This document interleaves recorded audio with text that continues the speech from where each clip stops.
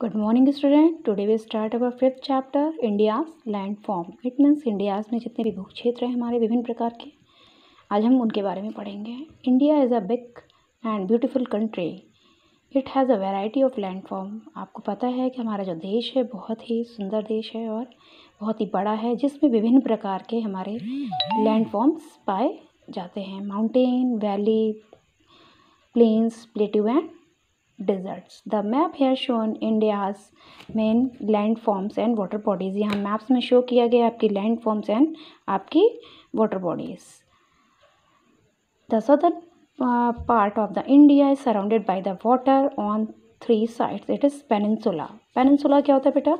जो आपका three side से जो भी लैंड फॉर्म जो थ्री साइड से घिरी होती है, हमारी क्या कहलाती है? पेनसुला जो कि हमारे सदर्न पार्ट्स में है. Peninsula is a piece of land almost surrounded by the water India has ocean and sea to the east जो हमारे इंडिया में जितने भी आपके India has ocean and sea जितने भी ओशियन एंड सी हैं, वो कहाँ पर हमारे? ईस्ट में west and south east west and south में. It's island lies in the sea on the east and the west और जो हमारे आइसलैंड्स हैं, वो कहाँ पर हैं? हमारे ईस्ट एंड वेस्ट में. Based on the land forms island क्या होता है बेटा? जो समुद्र के बीच का जो मैदानी भाग होता है, जो चारों ओर से हमारा वाटर से घिरा होता है भाग, और बीच में एक टापू के टाइप का मैदानी क्षेत्र होता है, वो हमारा क्या कहलाता है? Island. And land form based on इसी पर क्या है? इसी पर हमारा जो इसी बेसिस पर जो हमारे लैंड फॉर्म है इंडिया में और लैंड्स में भी डिवाइडेड इनटू कई पार्ट्स में डिवाइड किए जाते हैं। इट मीन सिक्स पार्ट्स में सिक्स बॉर्डर रीजन्स में कौन कौन से हैं? वो the northern mountain and the northern plains the Thar deserts and the peninsular plateau the coastal plains and the island the first one is the northern plain mountains a number of high mountains ranges form the northern boundary of the India. जो पर्वत श्रृंखलाएँ हैं, कई पर्वत श्रृंखलाएँ, ये हमारी ये northern boundaries मतलब उत्तरी सीमा को, हमारी इंडिया की उत्तरी सीमा को कई पर्वत श्रृंखलाएँ मिलकर बनाती हैं। The northern northernmost of the these is the Karakoram हमारा ये नॉर्थ में में उत्तरी में क्या है हमारा Karakoram and the it south is Himalaya south में क्या है? दक्षिणी भाग में हिमालय है। The Himalaya is made up of three main ranges from the north main three ranges मतलब जो हमारा ग्रेटर जो हमारा हिमालय है, वो थ्री रेंजेस में डिवाइडेड है, greater Himalaya lesser Himalaya and outer Himalaya. The great Himalaya has some of the world highest peak greater Himalaya के अंडर में क्या? बहुत ही वर्ल्ड हाइस्ट पीक जो बहुत ही वर्ल्ड विश्व में बहुत ही जो, बहुत ही ऊंचाइयों पर हैं, जो बहुत ही ऊंचाई ऊंचाई वाली चोटियाँ हैं, वो कौन कौन, उस, वो बहुत पाई जाती हैं हाईएस्ट पीक एमंग दीज इनमें से कौन सी है? Mount Everest Nepal and the highest peak in the world जो कि विश्व की सबसे ऊँची चोटी है। And the Kanchenjunga the third highest और कंचनजंगा हमारी थर्ड हाइस्ट है। The peak of the high mountain are covered with snow आपने देखा होगा, जो माउंटेन की जो चोटियाँ होती हैं, जो पीक्स होती हैं, हमारी किससे ढकी होती हैं? हमारी बर्फ़ से ढकी रहती हैं। Many of them have a glacier इसमें क्या है ग्लेशियर भी पाया जाता है? अब ग्लेशियर क्या होता है? Glacier is a very large mass of ice that move slowly down a slope यानी बहुत सी बर्फ़ आपस में मिलकर एक बर्फ़ का गोला टाइप का, एक मास टाइप का बना लेते हैं। एक स्ट्रक्चर बना लेते हैं। वो हमारा क्या कहलाता है? ग्लेशियर जो कि स्लोप से धीरे धीरे नीचे नीचे की तरफ़ गिरता है। जब ये warmer part of the mountain जब माउंटेन जहाँ पर गर्म भाग है माउंटेन का, वहाँ पर पहुँचता है तो क्या होता है? ये ये ग्लाशियर्स पिघलने लगते हैं। दे मेल्ट रिजल्टिंग क्या होता है? वहाँ पे रिवर फॉर्म हो जाती हैं, नदियाँ बनने लगती हैं। The Ganga rises from the glacier called Gangotri हमारी जो गंगा राइजेज हुई है राइजेज हुई है कहाँ से? किस ग्लेशियर से? गंगोत्री से। एंड द यमुना राइजेज कहाँ से हुई है? यमुना हमारी कहाँ से निकलती है?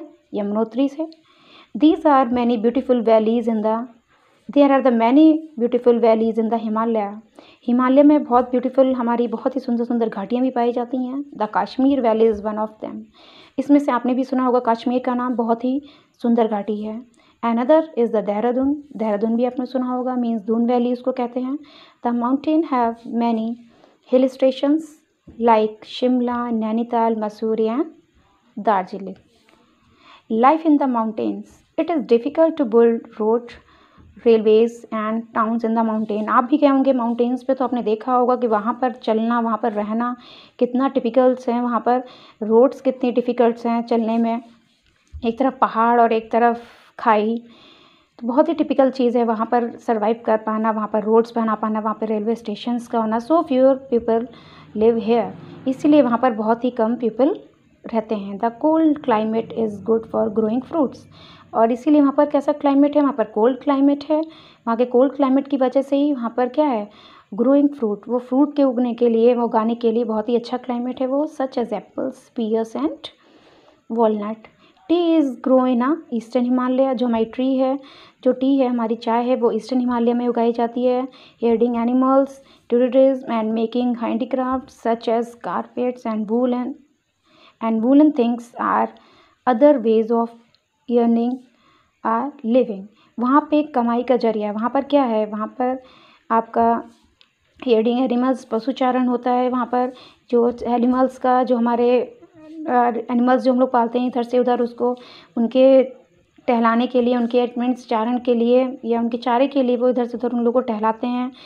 उनका बाद में फिर उनको यूज़ करने के लिए the trades and the making handicrafts जो हाथ से बनाए हुए चीज़ें हैं, उनको बनाकर कारपेट्स को बनाकर, उनको इस वूलन थिंग्स बनाकर, उनके तरीके से ये अपना पालन पोषण वहाँ पर चलता है। The northern plains the northern plains are low land of the southern और साउथ ऑफ़ द हिमालयाज हमारा जो लो जो हमारा, हम नॉर्दर्न नॉर्दर्न प्लेन्स है, हमारा क्या है? हिमालय से है। The northern plains are the low land of the south of Himalaya. हमारा लो पार्ट क्या कहलाता है हिमालय का?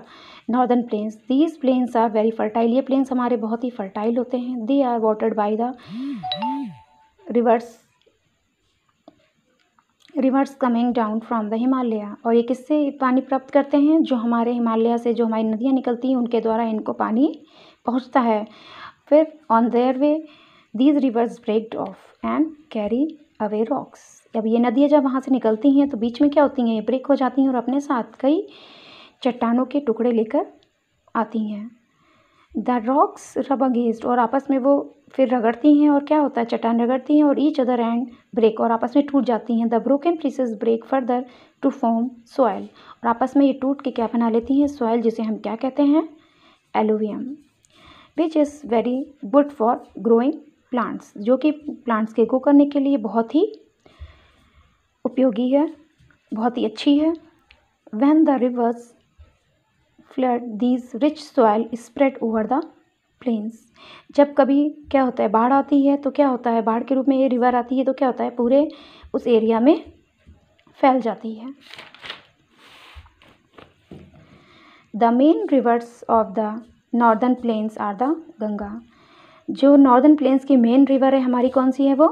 Ganga and Ganga the Brahmaputra and their tributaries and